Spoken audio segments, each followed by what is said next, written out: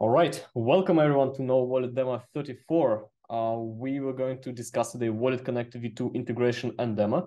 Then we're going to check what has been released as XCM transfers fixed. And then we're going to remind regarding our Polkadot Treasury proposal. So let's dive into it.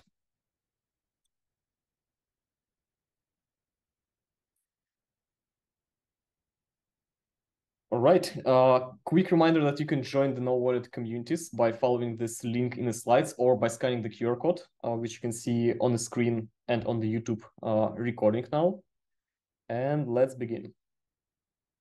The Wallet Connect V2 demo. Before diving into the demo itself, let's quickly sync up on what Wallet Connect is. Uh, basically, the Wallet Connect is not only the protocol, but nowadays it's infrastructure which helps Web3 to connect with each other. Web3 uh, basically applications to connect with each other. The most common use case is whenever the mobile wallet connects to the decentralized application um, hosted in the web. So that's the most uh, common use case. But besides that, there are lots of uh, features that nowadays the team is building. But today specifically, we are going to discuss the Wallet Connect integration in terms of scanning the QR code from your mobile device uh, in order to connect your mobile wallet with certain DApp um, out there. And the reason why we decided to jump in and integrate the Wallet Connect today, uh, I mean, these days, is that recently they have integrated, uh, they have evolved to the version 2, and they are now a um, chain agnostic protocol or multi-chain protocol, which means that the Polkadot ecosystem is now finally supported, right? Moreover, they're going to do the hard integration uh, by the end of the summer, which will sunset the version one, which exists nowadays in all wallets out there, and they will switch to the V2, which means that you as a Nova wallet user would be able to use any DApp out there um, if the network is supported in Nova, of course. So this is the perfect timing for us to integrate the Wallet Connect. For the scope of the integration, uh, it is listed on the screen, but let's just quickly go through it. Uh, so we're going to add the Wallet Connect button right now in the settings, but later on, you would be able to see it also on the Assets tab as soon as we will redesign uh, the tab, which is planned. Uh, the next one is, of course, you can add the new connection. Right now, we're going to support the QR codes, which means that you are able to scan the QR codes uh, from your, let's say, laptop or the desktop device and utilize your interface which is running on a desktop, but sign operations on your mobile device, which is Nova wallet. We will also show you your active connections so that you can manage them, remove them if needed. And of course, whenever you do any operation on a desktop for an active Wallet Connect session, you will see a pop-up similar to the one that you see in our DApp browser to sign the operation. So you can review the separation and sign or reject this. So release for the Wallet Connect will arrive next week for both iOS and Android, which is really exciting news. So let's see the demo itself. For the demo, I'm going to use my Android emulator. You're pretty much familiar with this. Let me know if you cannot see that. Uh, and I'm going to use two DApps. First one is a kind of testing DApp uh, built by the Wallet Connect application so that teams like Nova Wallet can test their integration. And the second one is actually, I believe that it is a first DApp in the ecosystem, which is available into the production with the Wallet Connect V2 integration, which is Moonbeam DApp, right? So we're going to try to connect to the Moonbeam DApp from the Nova wallet and try to execute some transactions and see how it works. So if that sounds good, let's proceed. The first one, I'm going to explain like a basics and how it works uh, in terms of like life cycle, I would say. Uh, I will use the, um, the DApp uh, for the testing purposes developed by the Wallet Connect team. So what we see now in Nova Wallet. So in the settings, you can find this button, Wallet Connect. And right now you can see one connection active. So if I tap here, I will see that that basically means that uh, I have connected to certain DApp. I can press on it and get more details.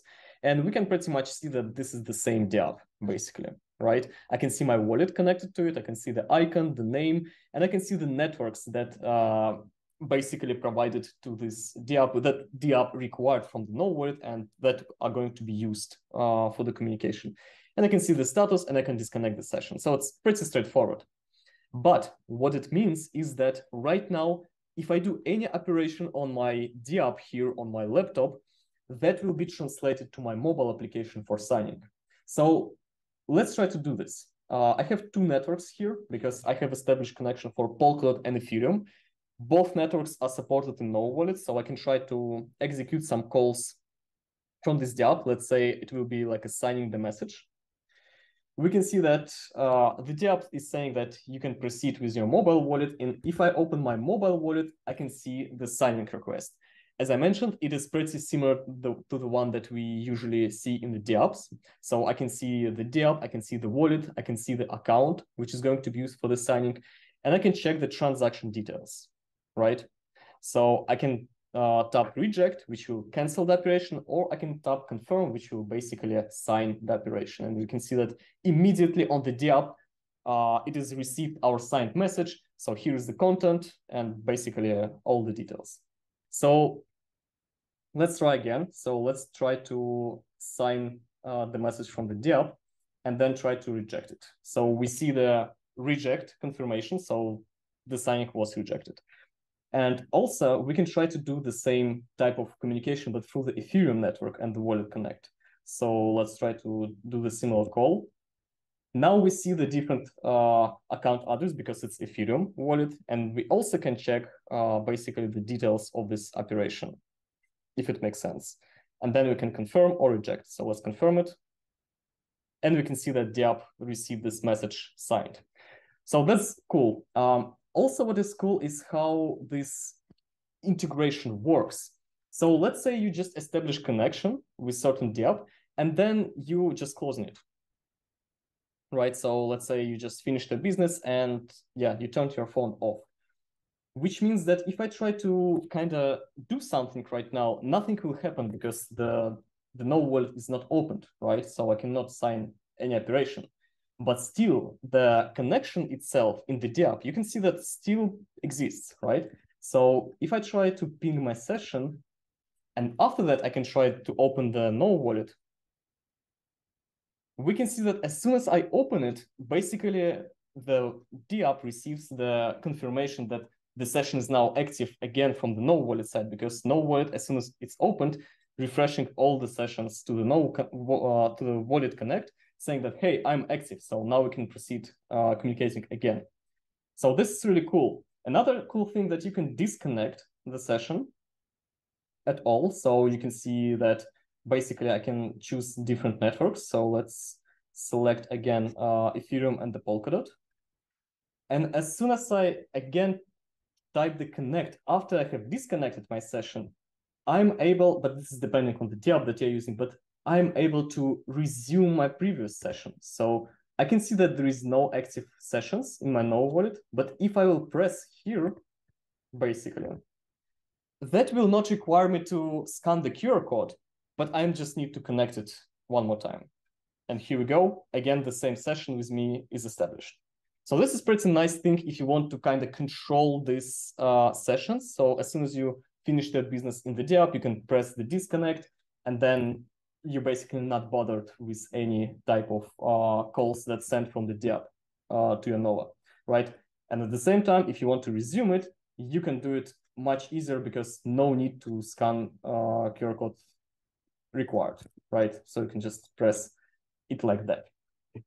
So this is how it works from um, in terms of like the life cycle. So the session is active as uh, as long as the Nova wallet is running, right?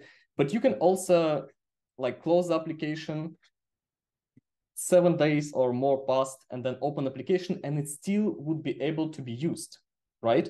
So I don't need to establish the sessions each time which is really great because imagine if I'm using this DApp on a daily basis, so I don't need to scan the QR codes or establish the connection every time. This is super convenient. So let's try to do the real stuff. So let's try to connect uh, with the Moonbeam DApp. So for that, uh, I'm going to press the setup wallet here. And here I'm going to select the Wallet Connect V2 and then I'm going to connect the wallet. So this is the QR code that I need to scan, but remember that I'm using the emulator on the same device. So what I'm going to do, I'm going to take a picture of this um, QR code right now that you can see on the screen. Let's make sure that the picture is nice.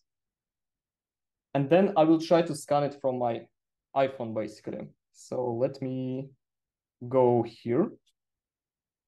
And I can establish as many connections in the node as I want. So now we can see this connection um, with the React app, which is basically the test application. So now let's try to connect with the real one, which is Moonbeam. So let's try to scan the QR code. This is me. Uh, let me flip it like that for the convenience. And let me scan it. Hopefully the lighting is good. Sometimes it's taking some time, but yeah. So now we can see that the Moonbeam app is requesting access to our addresses, but this is basically the establishing the session, right? So I have scanned the QR code successfully. I can take a look of the networks that the Moonbeam app is requiring, and we can see that the Moonbeam is required, and also Moonriver and Moonbase are optional. So maybe some features on this app involves more than one network, more than just the Moonbeam network. So this is what I can see already now. I can also select any other wallet that, that I can uh, that I have in the Nova right now. So by default, uh, it is selected to be the one that you currently operating with. But I can also select any wallet, including Ledger and the Parity Signer, which is super interesting use cases. You can now use the Parity Signer wallet with the Wallet Connect protocol. But we are not going to touch this on the demo. We're going to touch just the basic scenario with uh, the wallets that are stored on your Nova. So I press allow and let's see what happens. So in the Nova, I can see that the session is established, right? And in Moonbeam app, I can now see my address and I can basically see everything um, in the user interface corresponding to my um, to my account from the Nova wallet. And now I'm able to use the desktop version of the Moonbeam app while having my keys actually stored in the Nova wallet, right?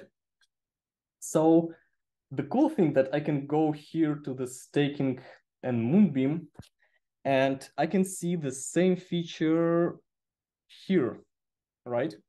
So we can see that uh, basically my balance here, my stake, my total rewards, it's pretty much matching up to the 0.1 glimmer, which is cool. Let me check maybe other call for the CrowdLoan rewards. So let's try to claim the CrowdLoan rewards. We can see that the call is pretty much different. And if I tap confirm here, let's see, uh, it says that it's confirmed. So let's check this and it says that it's success. So let me check one again, once again, the history into the Nova yeah, so I can finally find the operation. And this is probably, from what I see, this is a claim operation, right? So the claim operation, our claim operation was successfully sent from the uh, Wallet Connect DApp, uh, from the Moonbeam DApp through the Wallet Connect. So we can try to do something else. Let's try to decrease staking amount. So let's go to the um, staking collators. And we can see that I have this set up and let's take 1000 glimmer from this collator, which is this one. So let's decrease the staking for 1000 glimmer. And let's confirm this into the Nova wallet. So it says decrease transaction sent. Let's check it uh, into the Explorer. And we're waiting for the details here. And it seems that it's working. Yeah, we also can see the unstaking into the Nova. So let's try again the auto-compounding.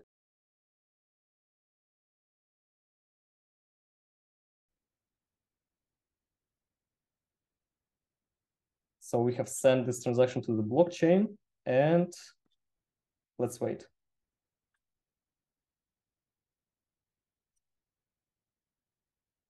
We can also check the operation history into the Nova. now it says that the auto-compounding uh, transaction confirmed, which means that it went through because I can see that auto-compound was enabled. So this is a good news. In general, you can see that integration works. Uh, it works pretty wonderful whenever it works. so we will see what we can do to improve it um, with the Moonbeam team and with other teams. All right, so are there any questions for the Wallet Connect integration?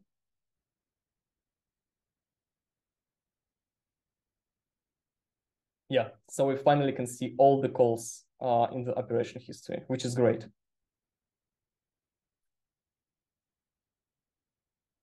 All right, so if there are no questions, let me go back to the slides. We have a couple minutes more and let's see what we have. XCM transfers fix.